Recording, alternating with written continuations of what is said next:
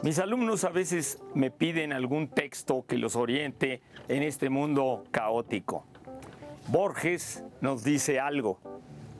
Poema Los Justos de Jorge Luis Borges, por supuesto. Un hombre que cultiva su jardín como quería Voltaire. El que agradece que en la tierra haya música. El que descubre con placer una etimología Dos empleados que en un café del sur juegan un silencioso ajedrez. El ceramista que premedita un color y una forma. El tipógrafo que compone bien esta página que tal vez no le agrada. Una mujer y un hombre que leen los tercetos finales de cierto canto. El que acaricia a un animal dormido. El que justifica o quiere justificar un mal que le han hecho. El que agradece que en la tierra haya Stevenson. El que prefiere que los otros tengan la razón. Esas personas que se ignoran están salvando al mundo. Como todos los sábados a esta hora. Yo soy Germán Ortega Chávez y esta es la dichosa palabra.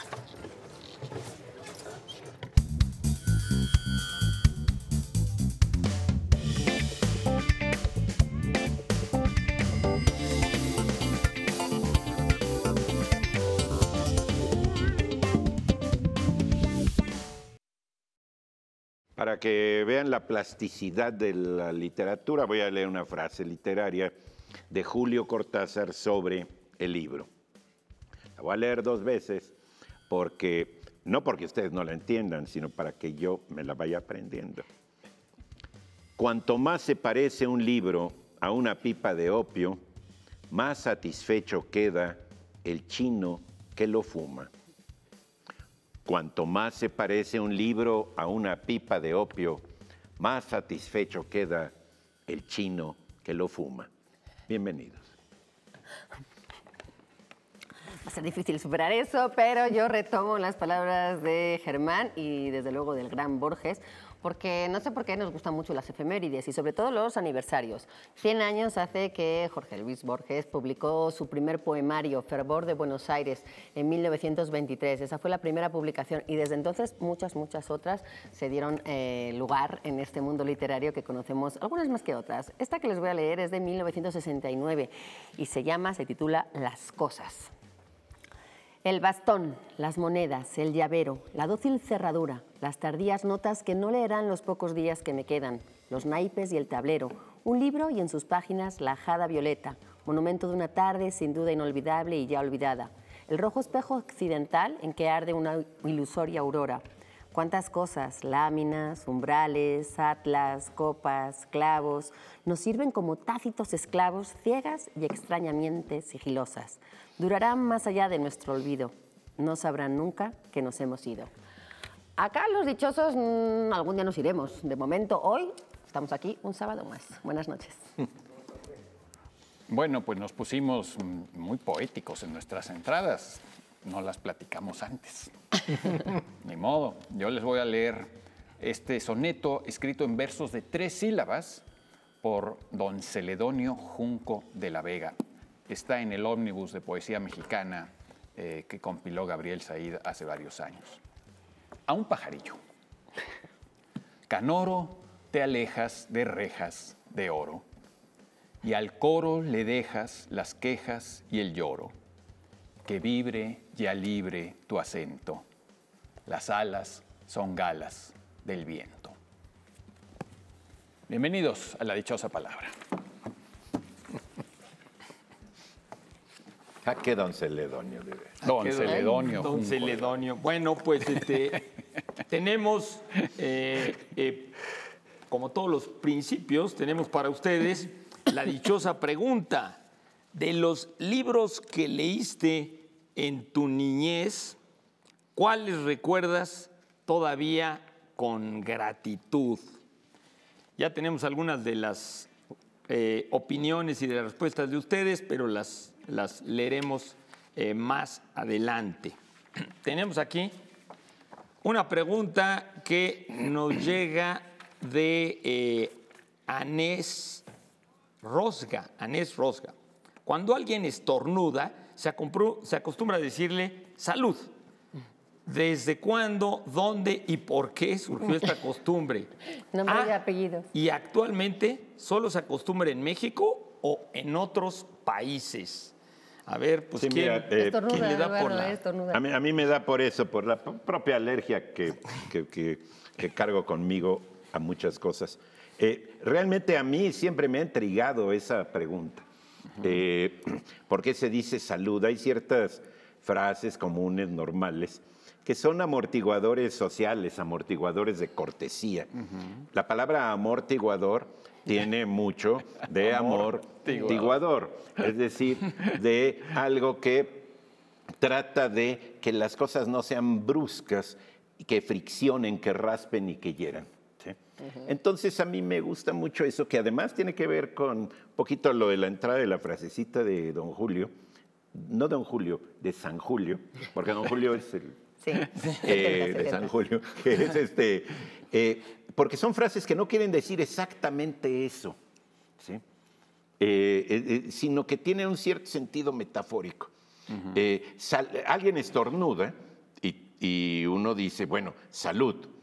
En otros países, en muchos otros países, se dice también salud. En alemán se dice por tu salud. Gesundheit. Eh, ¿eh? Gesundheit. Eso. Bueno, ¿eso quiere decir eso? Ah, pues, Gesundheit. ah, eh, sí. Y luego en francés también. ¿sí? Atasante. Eh, ¿eh? Atasante. Ah, sí, también. Bueno, pues, es decir, como lo... Hay que hablarle a Nicolás Alvarado para ver cómo se dice este... La pronunciación pronunciación. correcta. Sí. En Argentina, por ejemplo, no se dice nada. ¿No? En Japón no se dice nada por respeto, porque eso de andarse metiendo con alguien que acaba de estornudar es algo que no es buena educación. O sea, se- se- uno finge que no pasó nada. Sí, pero finge por, eh, por sensatez, por Sí, sí, sí, corrección sí. y también por cortesía. Es que en realidad sí, sí, está sí. Es raro, decir, ¿no? es Que tú un digas, ya silencio. te escuché estornudar. No, no, no, poco pero no está raro, es, es, es simplemente una reacción de cortesía.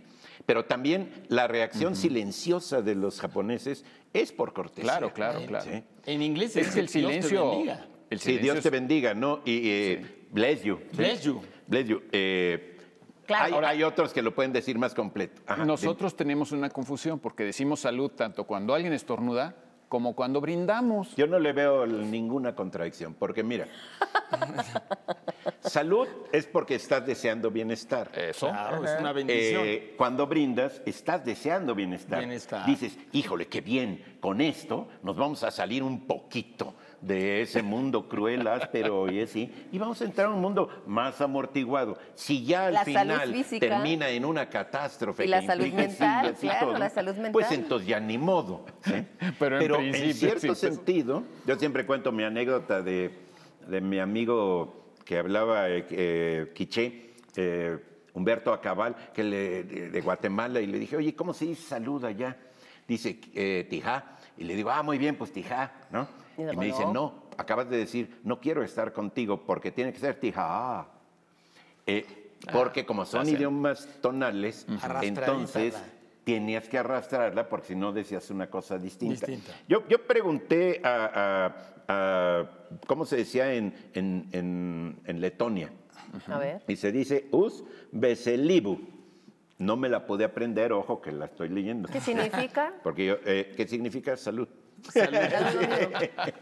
Son más, más es lo que este, se largos. dice, pero quién sabe qué Oye, lo que pasa es que, por ejemplo, en España que se dice Jesús, también se dice salud, Jesús. pero se dice más Jesús, tiene una connotación religiosa fuerte, porque eh, cuando uno estornuda, supuestamente es porque está eh, eh, enfermo, no, no había ese estudio de Jesús, ¿no? alergias antes, Y entonces, eh, un poco lo que te están deseando es que llegue Dios y te, te ayude a curarte y un poco proteger a los que están alrededor de, de ese contagio. No es como, bueno, que venga a- en este minuto Jesús y nos proteja a todos, No, al incluso- enfermo y a los demás. Entonces, sí hay una connotación Incluso, religiosa. incluso mi hermano Ricardo me decía, bueno, eso era de las viejitas antes que decían Jesús.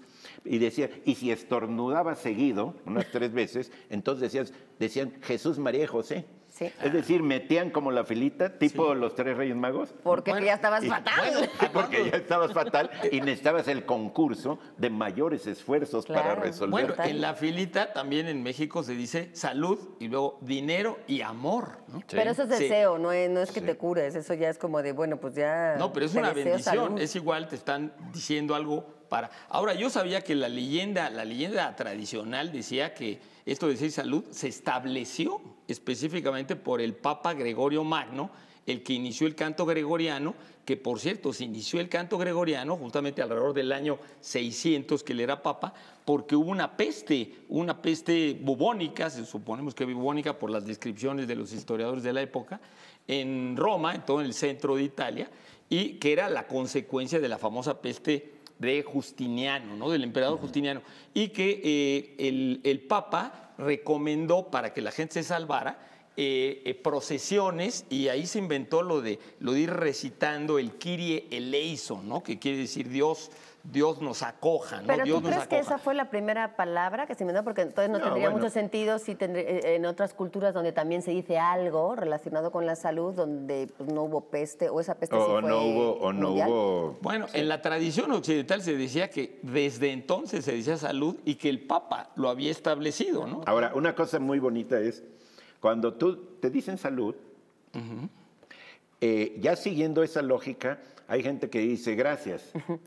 Y hay gente que Sí. todavía dice de nada. De nada. Es decir, vean cómo luego se hacen eso, amigos. eso, Se en, sigue términos, en términos de una mesa con paño verde, se llama carambola.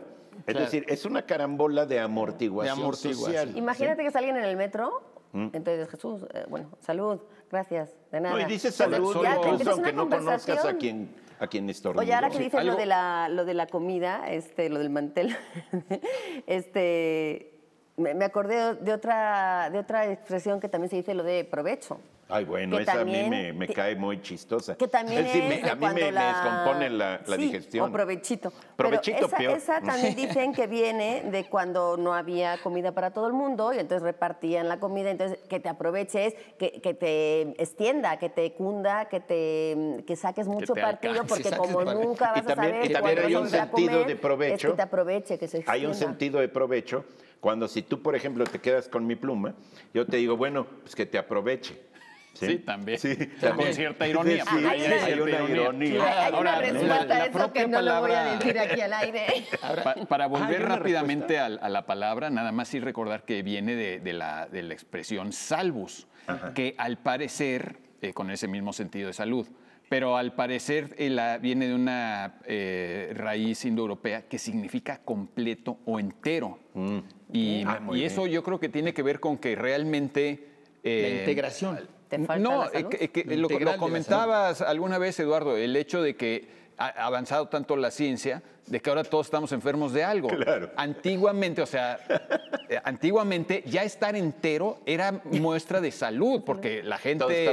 Faltaban- No, pues claro, a ver, había tanta violencia, tantas enfermedades, Mínimo tantos males, que ya estar entero era muestra de estar saludable. Mínimo los dientes te Sí. faltaban. O Ahora, sea, eso en- para entre los Sí. griegos, ya nos tenemos que ir a la dichosa, pero entre Sí, los bueno, griegos vamos, pues. había, había este, Hipócrates decía que en ciertos casos el estornudar era una muestra de salud. Sí, o sí, sea, sí. que porque expulsabas cosas y, y los griegos incluso tenían Bueno, una eso lo adivinación. decimos hoy todavía, ¿no? Claro, No, una sí, adivinación por medio de los estornudos. Depende cómo estornudabas. Ah, claro, cuando dicen que alguien está pensando en ti. Claro, claro, que se llama tarmomancia. Tarmomancia, que en griego tarpos. Bueno, es- vamos con la dichosa, es pues. estornudo, ¿no? Este, la dichosa palabra del día de hoy. Borde añadido a algo hecho de tela o de cuero. Por ejemplo, una prenda de vestir como ornamento o refuerzo. Puede ser un listón, un bordado, un color, etcétera. Orla. Adorno o añadidura que se hace a un relato, a un discurso o a cualquier cosa. En plural y aplicándose a personas es sinónimo de asomos o indicios. Por ejemplo, al decir fulano tiene asomos de poeta. Y para los que adivinen o sepan, tenemos Eduardo. O, o interpreten, O porque está muy interpreten. bueno. Tenemos una, un texto de José Vasconcelos, publicado por Trillas y Siglo XXI, cortesía de Trillas. Eh, me estaba yo preguntando, es el Ulises Criollo de José Vasconcelos. Este libro fue publicado en 1935. El Ulises de Joyce fue publicado en 1922. Entonces, a lo mejor él dijo, bueno, ya publicó este cuate su Ulises. Y entonces, lo que es seguro es que te decías tú algo, ¿no? Que Que- Homero habló de Ulises antes. antes, ¿no? Entonces, o sea, primero es Homero, luego Joyce Eso y sí. luego Vasconcelos. Bueno, y es muy Versiones. bonito. Seix Barral nos presenta el premio Biblioteca Breve de este año. El título ganador fue La Educación Física de Rosario Villajos, que es esta cordobesa, cordobesa de España, que además tiene una manera muy bonita de, eh, hablar, es español. Y es esta, la educación física es eh, la relación de una niña adolescente, Catalina, que tiene 16 años, esta novela se sitúa en los años 90 en España, eh, pues de la relación con su cuerpo, cuando empieza a cambiar esa adolescencia que, que te enfrenta a tantas cosas. Dice Rosario Villajos que las batallas más difíciles de una mujer siempre las libra en su propio cuerpo. Y este habla, desde luego, de cómo es el entorno y de cómo una mujer siempre se siente vulnerable respecto a cómo va creciendo. Interesantísimo, buena lectura y además un premio muy merecido. Y tenemos esta maravilla de la premio Nobel Olga Tokarczuk, seguramente lo pronuncio muy mal, los libros de Jacob, con un posfacio de Abel Murcia en la traducción de Agatha Orsesek y Ernesto Rubio. Este, esta voluminosa novela está basada en un personaje real y viene, pues obviamente, con las mejores eh, críticas y recomendaciones. Es cortesía de Anagrama. Bien, pues este, eh, yo eh, para despedirnos le mando un abrazo muy fuerte a mi querido amigo Mario Monroy, allá eh, un- una, una personalidad del mercado de Coyoacán y del centro de Coyoacán. Un caluroso abrazo, mi querido Mario. Pues nos tenemos que ir un corte y ahora regresamos.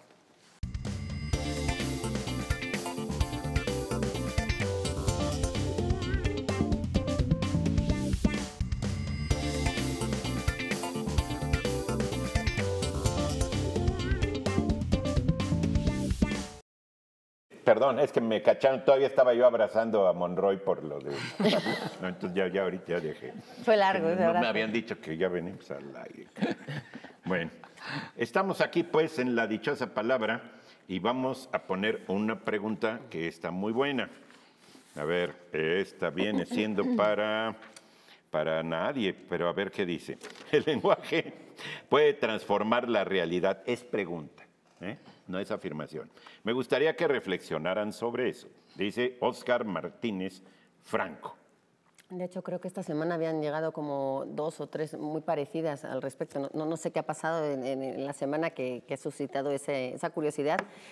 Ha de haber problemas con el Sí, lenguaje. no, sí, no, es que, es que sí se habla mucho de que eh, el lenguaje es un reflejo de la sociedad, es decir, que la sociedad habla y se comporta de determinada manera y sus eh, palabras son las que reflejan cómo son, cómo se comporten, cómo sienten y, ¿no? Este, un poco eh, las... consecuencias de, de sus palabras, de ese impacto, de esa reacción que provocan en, en el, el que escucha o al que aluden, ¿no? que pueden ser hirientes o bonitas, entonces uno puede sentirse muy enaltecido u otro muy criticado, lo que sea. Pero lo cierto es que sí hay ejemplos en los que la realidad sí condiciona. Eh, las palabras sí condicionan esa realidad y puede ser que incluso eh, haga tomar decisiones eh, respecto a lo que sea, lo que sea. Pienso, por ejemplo, en la posverdad, este, este fenómeno por el cual la repetición de unos datos que están más basados en las emociones que en los hechos reales, en los datos, mm, ahora sí que mm, probados, hace que la gente crea o tome un, un dato que está basado en la manipulación y lo tome como verdadero. Y el, el dato ya se ha demostrado que no es verdadero, pero se repite tanto y eso también es en política, por supuesto, y es en publicidad, como eh, algo este, se intenta vender, se intenta convencer de algo a alguien ¿No, y no se decía repite. Goebbels algo así como que una mentira repetida un millón de veces se vuelve una verdad? Y Creo eso algo el, el- el- el principio de la posverdad. sí, Entonces, sí. en realidad puede que no sea verdad, condiciona la realidad, por supuesto, porque si hay mucha gente que eh, termina creyendo algo, empiezan a tomar decisiones basadas en, en esos datos, manipulados consciente o inconscientemente, porque hay gente que incluso sabiendo que son Sí, sí, sí, eh, sí. falsos, pues condiciona. Se me ocurre también eh, todas las acusaciones falsas. Cuando uno dice, esta marca provoca tal, esta persona dijo tal, aunque no sea verdad, esa persona o esa marca le cuesta tanto borrar Sí, esa sí, idea sí, que ya se dijo de que la gente deja de comprar ese producto, la gente, la Pero- famosa pero- cultura de la cancelación ahora, que es como, yo ya te eché del trabajo, aunque no sea verdad, pero yo ya escuché esto de ti y aunque no lo haya demostrado, es decir, las palabras sí condicionan y Sí, por lo tanto sí determinan lo que vaya a pasar con una persona, con una situación, con un proyecto. No, pues Entonces, hoy en la mañana leí la noticia de un maestro en Canadá que se suicidó porque lo acusaron de racismo. Y ponle tú que la no sea verdad. Pues pon tú, que yo creo que no era verdad. ¿De qué raza universitario. maestro? No, no, No, blanco. No, no importa. ¿A quién van a acusar de racismo? ¿No les pasa, Hoy. por ejemplo, que alguien dice, estás hablando con alguien, bla, bla, bla, bla, bla, bla, bla, y llevas 10 minutos hablando con esa persona normal y dice, no, es que tengo un grano aquí en la nariz horroroso que no me lo puedo quitar con nada. Tú no habías visto el grano hasta ese momento. A partir de ese minuto se visibiliza, se hace presente en la conversación y tú no dejas de mirar ese Claro. grano. Es decir, esa realidad que sí estaba, pero que tú no veías, porque al fin y al cabo la realidad la construimos cada uno de nosotros Sí, sí, sí. En, en nuestro ámbito. Y Luego, lo hacemos con palabras también. Y lo- hacemos- lo a veces también lo que hace es perderse la sensibilidad. Por ejemplo, ya cité a Goebbels, vamos a citar a Stalin que decía Venga, que esta vengan cosa todos. de que matar a una persona es un crimen, matar a un millón de personas es una estadística, no, es, no está condenado. ¿no? Y esas son palabras que tienen mucho poder, pero por ejemplo, la censura, el caso contrario, cuando uno trata de censurar cosas para que desaparezcan. Eso condiciona la realidad, la condiciona a medias, porque Sí, si sí, hay sí, una verdad, si hay un sentir, y si ese texto eh, quemado, desaparecido, eh, vulnerado, prohibido en algunos lugares, aparece en otros lugares o en otra época después, sigue estando. Es decir, por mucho que alguien intente borrar un, un hecho, una- un pensamiento, porque diga, no, yo no quiero que de esto hable nadie, y se borran las palabras, ese silencio en realidad también está condicionando la verdad. Y los silencios también provocan reacciones y decisiones que hacen que tú tomes este camino o el otro Claro. a partir de las palabras que tú has leído, que has escuchado, que te hacen sentir, porque ahora mismo, sobre todo en este momento de la historia de la humanidad, nos movemos más por las eh, emociones que por los datos y los hechos. Eso significa que si yo te digo algo a ti que te hiere, y a ti no te hiere de nada y a ti te da igual, les va a provocar una cosa diferente a cada uno y van a pensar Sí. algo que les puede, a lo mejor les da igual y no pasa nada, pero luego sí puede tener consecuencias que yo creo que para mí eso es crear y construir una realidad que luego puede eh, compartirse con más gente y por lo tanto tener unas consecuencias relevantes para Bueno, yo diría que desde un punto de vista estrictamente de si la pregunta es condiciona, pues por supuesto, y tú decías construir y todo, pues yo diríamos que, que, digamos en la naturaleza antes de que existieran los seres humanos, pues nada más estaba la naturaleza, ¿no? Todo lo que, todo lo que llamamos que es artificial, pues ha sido condicionado por nuestro lenguaje. O Sí, sea, pero no era seres- nuestra realidad. En realidad ¿Eh? tú y yo estamos hablando de nuestra realidad, no es la realidad del dinosaurio No ni la la, realidad, realidad de la física, roca. sino la realidad No es la verdad absoluta porque, bueno, no, no, pues pero es- digamos, la, la construcción del mundo artificial está hecho a través de palabras. Sí. Bueno, Ahora, eh, lo, eh, lo que mira, yo, yo- creo yo que es el el- el límite, eh, rápidamente, claro, nada claro. más. El límite sería que tampoco porque cambies el lenguaje automáticamente cambia la realidad. No, eso no es tan rápido. ¿no? O sea, digamos... Claro, la nueva este, semántica. No, pues por ejemplo, Sí. eh, eh, los nuevos planes de estudio cambian, las, la- la- la- se autodenominan inclusivos. Ya somos inclusivos porque te autodenominas inclusivo. Pues no, o sea, son cosas distintas a decir soy inclusivo que volverte inclusivo, digamos. Y o que sea, esa no sea automáticamente real. una palabra cambia la No, realidad. eso de sería que la determinara, pero, pero de con- generar condiciones para que... Pero haya eso visibiliza, eso Sí, sí, sí. visibiliza que también es una manera de hacer realidad. Es decir, yo sí creo que el- el- todo el, eh, ahora la polémica con el lenguaje incluyente, que en realidad es visibilizar una serie de em, comunidades y, y situaciones, creo que sí sirve para que ahora haya leyes, para que ahora cambien cosas. Es decir, sí, sí creo que cambien. Ahora, que eso signifique que vamos a utilizar todo eso y que se va a cambiar la realidad, Yo creo que no es tan rápido ni tan evidente, es decir, no por utilizar Sí, sí, una sí, cierta sí. cosa, Yo- porque yo- además yo ser tengo- incluyente va mucho más allá de, este, de un colectivo. Necesitamos ser incluyentes en muchos más aspectos. Yo tengo de- una prueba de de cómo el lenguaje sí cambia la realidad. A ver. A Así ver. como el predictor del embarazo. ¿sí? Cambia la realidad. Tú dile a alguien, creo que algo se ha roto entre nosotros y en ese momento es algo se rompe entre nosotros. Claro. Sí, sí, sí. Porque sí, sí, acabas sí, de crear sí. la fisura, claro, a nivel verbal, Sí. y a fuerza alguien va a encontrar eso. Es la mejor manera de, manera Sí, de divorciarse sí, sí. cuando ya se aburran, es díganle eso. ¿sí?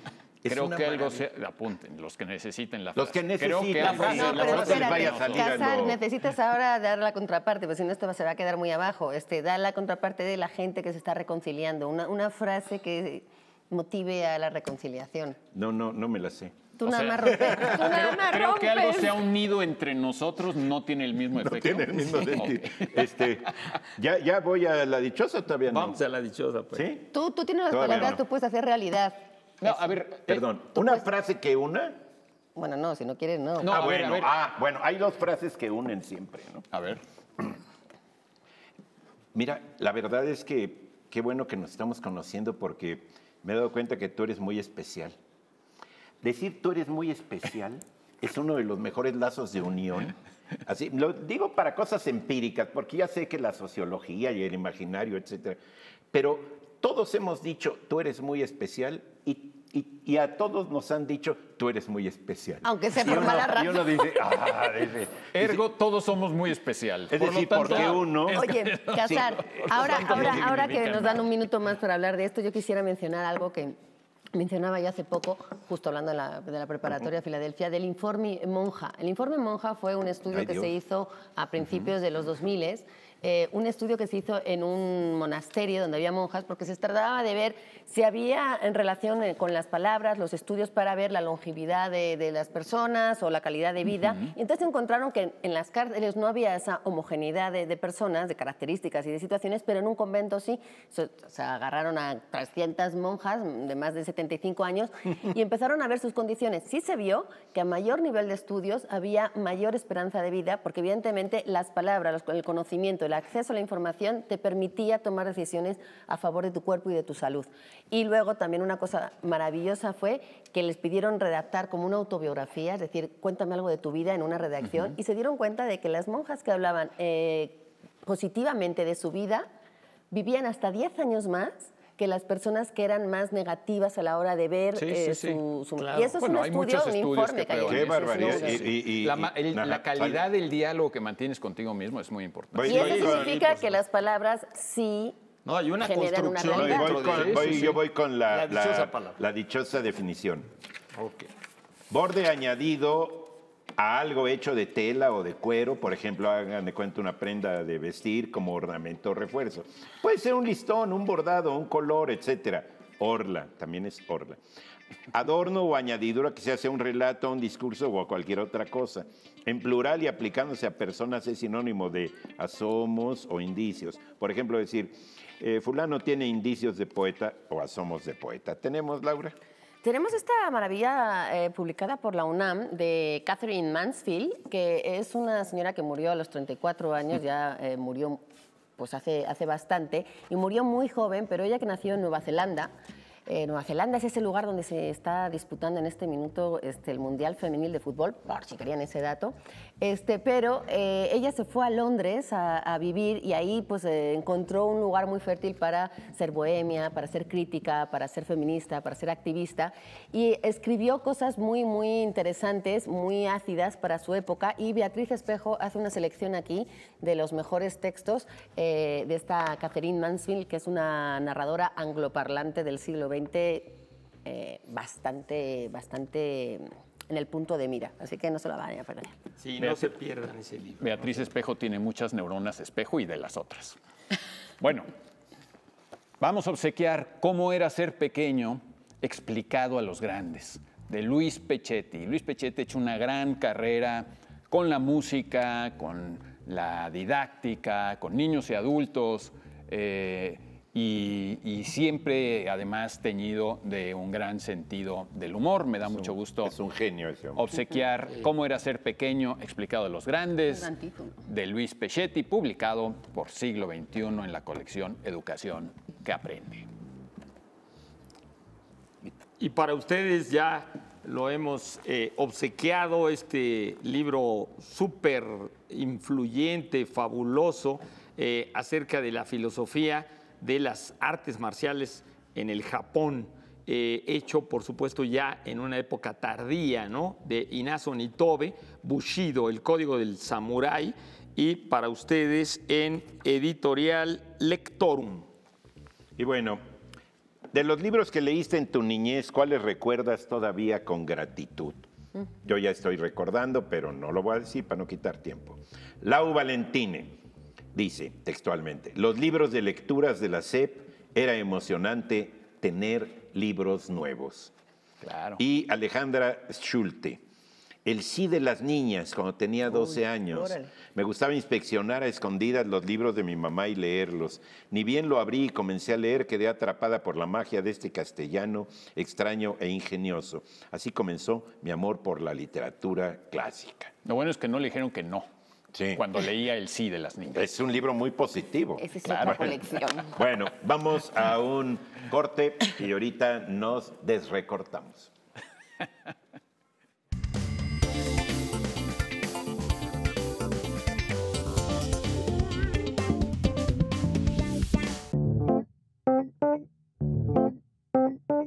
Hola, mi nombre es Paola Aguirre y soy editora en Sidcli. Sidcli es una editorial independiente que ya tiene 43 años haciendo libros para niños y jóvenes. Publicamos libros de literatura, libros informativos, libros también que ayudan al desarrollo motriz de los niños como material didáctico. En Sidcli pensamos que el libro, además de ser una herramienta de conocimiento, es un compañero de vida. Por eso trabajamos junto con diseñadores, escritores e ilustradores para poder hacer del libro una unidad armónica que al mismo tiempo que, que estimula el desarrollo del niño, lo haga experimentar el placer de la lectura. En mi trabajo como editora, una palabra importantísima es la palabra puente, porque así como los puentes comunican unas partes con otras o unos lugares con otros, los editores lo que hacemos es ayudar a que el mensaje o las ideas del, del autor se comunique de la mejor manera para sus lectores. Mi nombre es Paola Aguirre y mi palabra de editora es puente. Y desde aquí, desde Editorial Sidcli, aprovecho para enviarle un saludo a la dichosa palabra. Gracias, Paola. Gracias, Itli, eh, una editorial que tenemos y solemos mencionar mucho aquí en esta mesa porque nos gustan mucho sus publicaciones. Felicidades por toda esa andanza literaria y que vengan muchos más. Gracias también a nuestra queridísima Merlina Acevedo, que hoy me hizo llegar este libro. Bueno, ya hacía un rato. Hace unas semanas yo te lo hice Hoy llegar me porque llegó me este tardé en. Pero bueno, no importa porque los libros de Merlina siempre están eh, al día. Mirrors, que son eh, estos palíndromos que, bueno, si ustedes no conocen a Merlina y no la siguen en redes, no sé a qué están esperando porque realmente es una genia de, este recurso literario y hace unas cosas estupendas en español y en inglés. Ahí es nada. Además pinta y entonces pues es un libro que viene acompañado de, de todo lo que es Merlina, a la que le mandamos muchos besos desde aquí. Admiramos, queremos. Gracias Merlina por el ejemplar y por ser lo que eres. Nosotros aquí también agradecemos pues todas las, las, las preguntas que nos llegan y, cómo nos nutren con, con sus dudas eh, y nos ponen a prueba un poco también para, para que nosotros tengamos aquí. Esta llegó de mi tocaya Laura Estrada y que nos pide comentar sobre el origen de la palabra escolástico. Bueno, el escolástico sería, al menos originalmente creo, pues el maestro de escolástica o el maestro de artes liberales o de filosofía o de teología. Claro, porque lo preguntan en masculino. Sí, pero en realidad en- habría que hablar más bien de la escolástica, ¿no? Eh, como la palabra bien no suena, pues suena como escuela y efectivamente eh, puede decirse casi que casi al pie de la letra la escolástica es la filosofía de la escuela. Ahorita voy a decir por qué es importante eso, pero eh, en principio pues es una manera, o bueno, eh, una filosofía, si es que merece tal nombre, ahorita también discutimos por qué, eh, o una manera de pensar, eh, una moda intelectual, diríamos hoy, eh, y hasta un método de analizar las cosas que tuvo su apogeo, su momento más importante en la baja Edad Media, a partir del, siglo XI aproximadamente, hasta el siglo XV aproximadamente. El siglo XIII yo creo que es cuando realmente culmina la, escolástica con Santo Tomás de Aquino.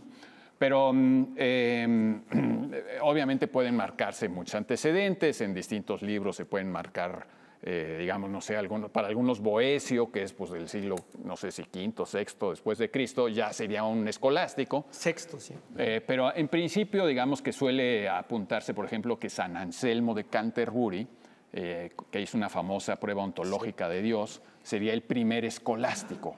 Y, San Anselmo, si no me equivoco, es del siglo XI. ¿Por qué filosofía de la escuela? Eh, porque justamente hubo un cambio muy importante en esa época en Europa. Eh, y la escolástica puede decirse que tiene una base material y una base intelectual. La base material es que en Europa hubo ciudades que empezaron a crecer mucho y tuvieron mucho apogeo, y hubo ciudades que empezaron a construir catedrales góticas. Y las catedrales, al contrario que las basílicas, que eran en principio eh, edificios más o menos sencillos, las catedrales góticas eran muy sofisticadas, requerían mucho tiempo, muchísima mano de obra de muchísimas personas con distintas especialidades. Y entonces en las catedrales eh, no solamente había la, liturgia, la misa, sino que también se reunían esas personas que habían trabajado en la catedral para discutir sus asuntos. Mm. Entonces era una poco un centro, las catedrales empezaron a convertirse como en centros de los gremios, aparte de su función religiosa. Y de ahí empezaron estos gremios a crear, a, discutir sus asuntos y a empezar a enseñar sus asuntos. Mm. Y entonces empezó a crecer el claustro, aunque claustro pues sí significa encerrado y esto, el claustro empezó a darse afuera de las catedrales, al aire libre, y ahí es donde empezó a usarse el nombre de escuela para denominar a estas eh, pues, eh, eh, instituciones educativas, llamémoslo así, que surgieron primero espontáneamente, eso es muy interesante, y que son las que hoy llamamos universidades, aunque el nombre universidad, como la de Bolonia, que tiene la fama de ser la primera universidad, o la de Oxford, la de París, el nombre universidad empezó a usarse muchísimo más tarde. pero en el siglo XI, siglo XII surgen estas primeras universidades que son eh, lo que surgió en las, a partir de las escuelas. De hecho, se llamaban o escuelas o estudia generali, estudia universalis a veces, pero la palabra universidad se empezó a usar muchísimo más tarde.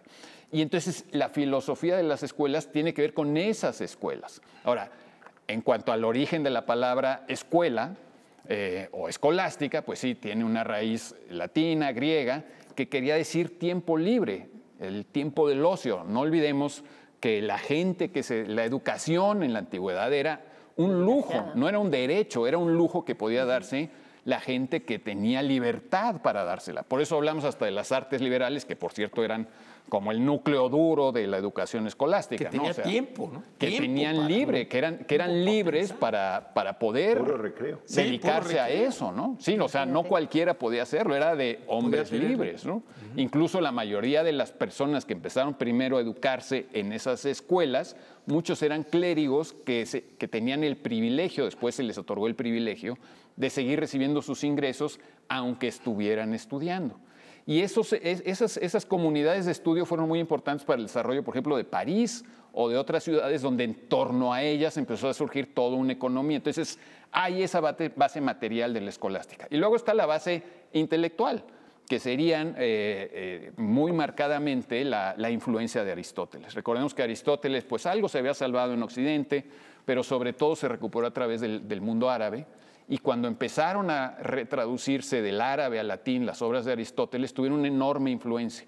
Y entonces la escolástica lo que intenta hacer es reconciliar a la razón con la fe. ¿Qué era la razón? Bueno, eso que enseñaba Aristóteles, esa manera de pensar más lógica, más analítica que venía de los griegos. Eh, el, esfuerzo de la escolástica es cómo armonizar eso con la fe. Por eso algunos dicen que no merece el nombre de filosofía, porque en principio pues, la filosofía debía buscar la verdad, y a dónde te lleve. Y la escolástica siempre dijo que la filosofía era la sierva de la teología, es decir, que lo más importante era la salvación, la religión, la autoritas de los grandes maestros o de mm. los grandes padres de la iglesia, y toda su filosofía era cómo esa razón Eh, eh. conduce a esa fe. ¿no? Y por eso se asocia escolástica con jerarquías Claro, y es con muy autoridades. importante. Muy como Los importante. diccionarios de autoridades y todo eso. Sí, la autoritas era absolutamente Porque era la autoridad, la autoridad de la fe, que Werner Jäger dice que justamente se empieza a romper la escolástica cuando en el periodo final de la escolástica, en la época de Occam y de los nominalistas, eh, empieza a separarse ¿no? la filosofía de la fe, ¿no? de la fe, claro. de ese intento de conciliar, como decías tú, razón y fe, que, que digamos que fue la base de la escolástica y de la pre-escolástica. Tú citabas a Boesio, justamente Boesio como un- uno de los, de los últimos este, autores del mundo que se desmoronaba, del mundo clásico, trataba como cristiano de, de- de encontrar que si Dios había creado eh, todo, tendría que haber creado la razón y la fe. Y si había creado la razón y la fe, las dos tenían que coincidir. ¿no? Incluso eh, San- eh, Santo Tomás decía, si nos dio un cuerpo es para que también lo disfrutemos. Ahora, mm, eh, ese, esa- ese, esa- ese quiebre que efectivamente se dio, digamos que la escolástica fracasó, si queremos verlo así, o se acabó por eso, O- o venía desde mucho antes, Sí, en el sentido de que muchísima gente se daba cuenta, muchos religiosos se dan cuenta de que pensar lógicamente ya era un peligro para la religión de que introducir esa, lógica de Aristóteles y ese análisis ya era peligroso para la religión, y claro que lo fue. De hecho, hasta en el siglo XIII, eh, los obispos y luego el Papa prohibió la lectura de los libros de Aristóteles. En plena escolástica estaban prohibidos los libros de Aristóteles. Después los paradoja, ¿no? autorizaron, claro, porque se dieron cuenta que era muy peligroso pensar lógicamente. Sí, y sí es muy peligroso pensar lógicamente, sigue siéndolo. Sí, para Bueno, la lo que fe. pasa es y que que El análisis y la lógica siguen siendo muy peligrosos. Entonces los prohibieron y después autorizaron solo la lectura privada. No se podía enseñar. Sí, y luego la, la prohibición también tiene que ver con que Aristóteles, como tú, tú dijiste, eh, eh, se, se buscaron no textos árabes y al buscarse textos árabes Sí. también hubo una influencia de la filosofía árabe y de Claro. la filosofía hebrea. Pero, pero sobre todo fue el hecho de que, de ok, se conocía parte de Aristóteles y hasta parte de Platón a través del neoplatonismo, pero cuando descubren que en Aristóteles no era solamente una, una manera de pensar, sino que era todo un sistema de ver el mundo, se espantaron porque había un mundo muy racional, muy completo antes de, de que surgiera la fe cristiana y eso era muy peligroso, ¿no? Enten- Ahora- ver eso, ¿no? Esa que- realidad era un peligro. Sí, Laura. Es que Perdón. me quedé pensando en cuando decías lo de escolástica, que se reunían los gremios dentro Sí. de las catedrales Sí, y sí, demás. sí.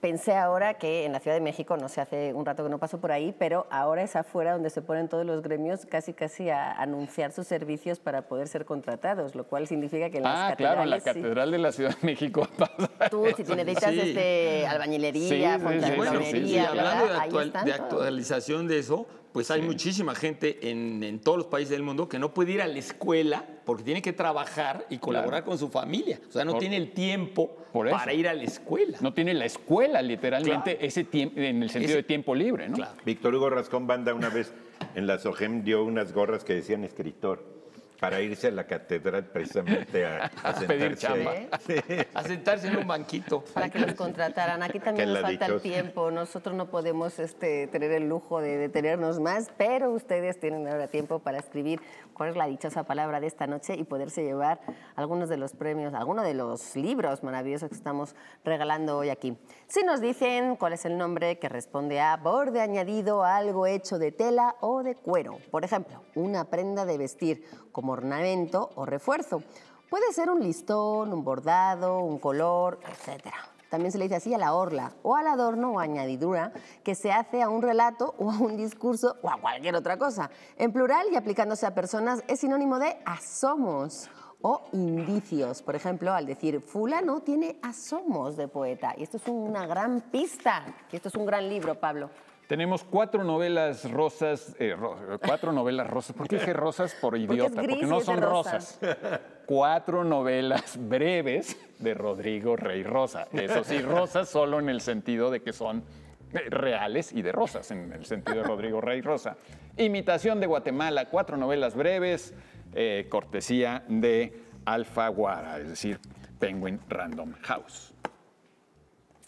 Y para ustedes este monumento del teatro, del teatro en México, teatro náhuatl, prehispánico, colonial y moderno, o sea, teatro en náhuatl de don Miguel León Portilla, por supuesto, de el Colegio Nacional. Una maravilla. Y tenemos también narraciones ordinarias de criaturas extraordinarias de Braulio Guerra Mendoza. Eh, es una edición preciosa de editorial Gato Blanco, una nueva editorial. Braulio Guerra Mendoza, mejor conocido como El Mago, eh, hace este libro y Dulce Ledesma, me da gusto que le den crédito a la portada, hace la portada. Sí, está buenísima la portada. Pues sí, adivinaron, es momento de irnos a un corte, pero ¿qué creen? Queda un bloque más de la dichosa palabra hoy. Quédense.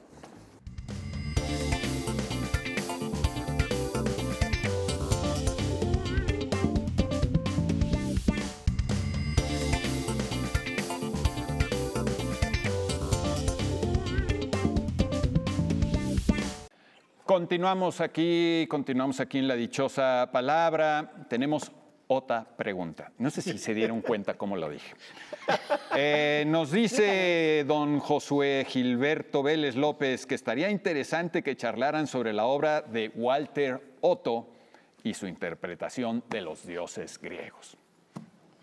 Bueno, para- pues está padrísima, la mera verdad está padrísimo y me encanta que, que, que se acuerden de, de Otto porque eh, pues eh, no se le refiere mucho recientemente, aunque la editorial Ciruela le ha hecho homenaje y ha editado eh, dos de los tres o cuatro libros más importantes de, de Otto, ¿no? Eh, eh, Walter, Walter eh, Friedrich Otto. También está en el sexto piso algún libro de Sexto piso, sí, cómo no. sí. Teofanía, Teofanía, que es el último libro que prácticamente es póstumo porque lo terminó. Él, él murió en 56, 1956. Nació a mediados de la segunda mitad del siglo XIX, no en los 70 más o menos. Y bueno, es un, es un eh, principalmente primero fue un filólogo, ¿no? un filólogo de esta escuela importantísima alemana a la que perteneció Federico Nietzsche y, y Wilamowitz y muchísimos eh, eh, que estudiaron, digamos, el, el sentido semántico, ¿no? el origen, el origen de, de cómo las palabras querían, tratando de averiguar qué querían decir en esas épocas en que se codificaron, que se usaron por primera vez y cómo se refirieron y cómo evolucionaron. ¿no? Este, eh, eh, Otto, eh, Otto realmente rompió, rompió mucho de la tradición clásica, ¿no? De hecho, mucha gente eh, no lo quiso, se escandalizaron y hubo mucha polémica acerca de la interpretación que hizo justamente de los dioses griegos. Lo que, lo que Otto básicamente eh, eh, quiso subrayar es que teníamos una visión distorsionada de, la- de los dioses griegos y de la mitología griega por, eh, digamos, eh, responsabilizaba al cristianismo ¿no? y responsabilizaba también a la época moderna desde el Renacimiento, ¿no? desde el Renacimiento que teníamos una como deformación en el sentido de que el cristianismo nos hacía ver lo divino en el interior de nosotros o en el más allá, ¿no? En la muerte, ¿no? O sea, que, que buscábamos lo divino adentro, ¿no? E incluso se puede decir que muchos neopaganos que ahora quieren revivir y se ponen eh, togas y quieren revivir los cultos este, antiguos, ¿no? Y, y se ponen de veras eh, de laurel y todo, dice que también se, se- diríamos, se equivocan, lo que dicen muchos de Como los lo de la Barbie. Exactamente, es, que se equivocan porque, porque el- el- lo, que, lo que eran realmente los dioses griegos en la época de los griegos, ¿no?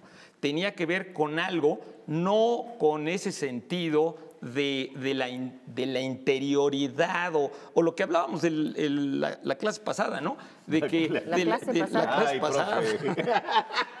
Sí, sí. La, sesión el, el sábado pasado acerca de- de- del esoterismo y del ocultismo, ¿no? de buscar en lo oculto, en lo secreto, en lo interior.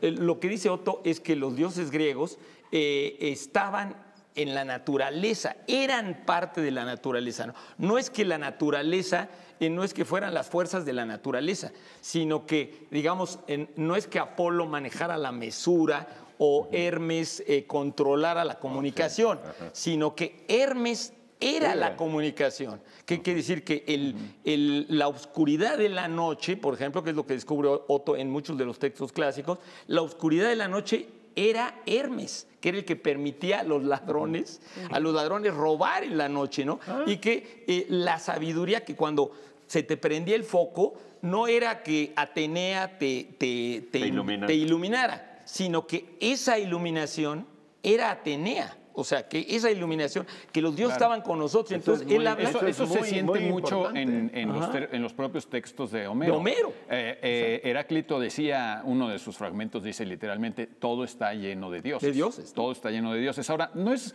eh, Yo entiendo el argumento de Otto, pero, eh, pero no es siempre lo mismo. Toda la filología no trata siempre de hacer lo mismo. Es decir, todo el sentido de las palabras va cambiando siempre. Claro. Y la labor del filólogo es intentar, eh, lo que dijiste, intentar devolvernos a sus sentidos Sí, originales. Pero no, su- pero no es lo mismo. Esta concepción es otra concepción porque eh, siempre la concepción, digamos, contra la que está este planteamiento que yo he leído nada más de Otto, el de las musas.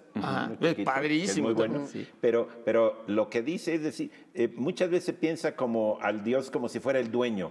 Sí. Como si fuera el poder ejecutivo de los bosques. Ajá. O de Como si hubiera mares. sujeto y predicado, Sí, cuando en exacto, realidad cuando en son sujeto realidad y predicado es al mismo un tiempo. solo Exactamente, es la, es la fusión. Lo que dice Otto es que Sí, sí, la sí. deformación, la distorsión del cristianismo hizo que creyéramos que como Dios es el, el- el encargado de- del, del mantenimiento de la creación y de la destrucción del mundo, que los dioses griegos son como muchos encargados. ¿no? Y lo que No, dice no, Otto no, es que no no es así. Sí, de hecho aquí muchas veces así. así. lo expresamos, ¿no? Ajá. Cuando mencionamos un Dios, de repente dice, claro, era el Dios de la salud, era el Dios de no sé qué, era el no, Dios... y lo que, lo que Sí. dice Otto, incluso, por ejemplo, ahorita que hablaste de las catedrales, dice, el cristianismo, las catedrales están hechas de piedra, de piedra oscura, de piedra oscura, y, y el, el- el fiel se mete adentro del templo. En cambio, eh, los templos griegos eran de mármol, como el Partenón translúcido. Sí, y estaban te- abiertos. te- era- estaban El altar era al aire Y libre. tenía que ver con la luz. ¿Qué quiere decir la luz? O sea, la, la divinidad, lo que dice Otto, Sí, pero- estaba presente. Pero también las catedrales tienen sus vitrales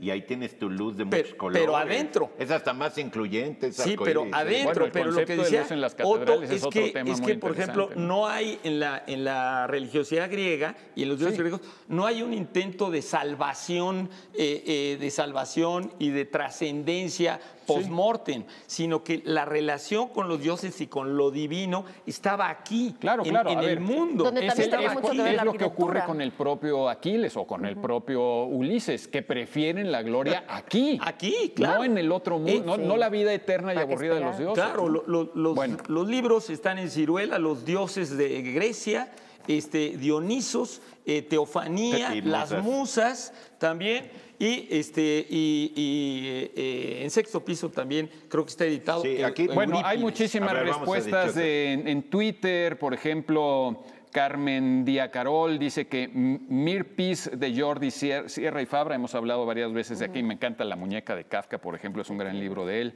Eh, Adara Solaniahain, no sé si lo estoy diciendo bien. Eh, cuando los grandes conquistadores eran niños, de Luis Moya, fue el primer libro de mi padre y el mío también, todavía lo conservo. Muchos libros, muchos recuerdos de muchas personas, muchas gracias por todas sus respuestas. Eh, buena pera, yo comencé a leer libros ya de adolescente, pero recomendaciones de mi- por recomendaciones de mis maestros, pero el hábito de la lectura lo tuve desde niño al ver que mi padre leía periódicos, aún hoy sigo leyendo periódicos, no hay nada como la tinta de las imprentas en los dedos. Yo la detesto, pero cada quien. Para algunos está para chuparse los dedos. Dichosa palabra de esta noche, borde añadido, algo de tela o de cuero, por ejemplo, una prenda de vestir como ornamento, etcétera, etcétera, etcétera. Ya la dijimos muchas veces. Ahí la pueden leer ustedes. La respuesta es ribete. A veces se habla de ribete. ¿Cómo decía tú? De- decía, bueno, eh, llegas tarde y de ribete mira cómo vienes. O sea, como añadido y encima de, todo. Además, ¿no? además, Sí. Bueno, eh, creo que eso es todo, ¿verdad? Sí. Muy bien, es todo, Germán. Ortega. ¿Cuál fue tu libro de niñez? Los Tres Mosqueteros. ¿Tú? Laura García. Pablo Bullosa, ¿me estás preguntando los libros o me estás Te despidiendo? estoy las dos cosas. Tu libro. Yo, yo el tesoro, tesoro de la juventud. Yo el lobo estepario, bueno, el tesoro de la juventud, claro, por supuesto. No, no, el Lau. Yo la colección El- de no, Celia. ¿La colección? De Celia. Bueno, Así se ya llamaba? vámonos. Bueno, Bueno, era ok, una y colección los libros de de Celia, Guillermo. ¿no? Las aventuras de Guillermo. Adiós. Buenas noches.